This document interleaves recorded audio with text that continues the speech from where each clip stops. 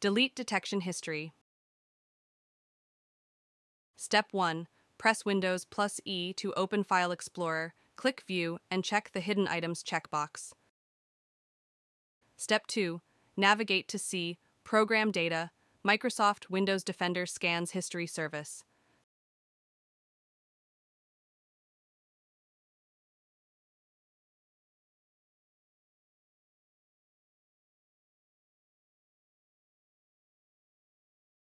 Step 3. Locate detection history. Delete it and restart your computer. Step 4. When the screen comes back, scan your computer using Windows Defender and see how things turn out.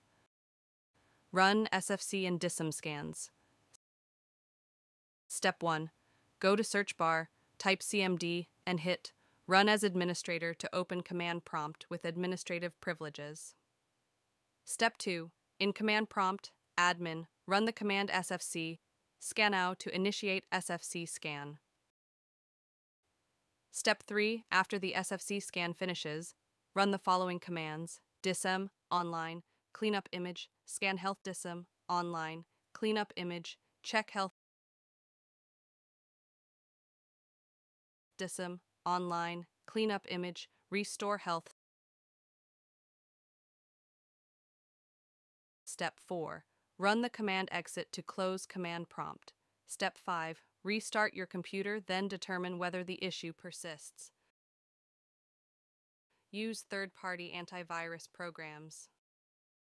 Step 1. Download and install Malwarebytes.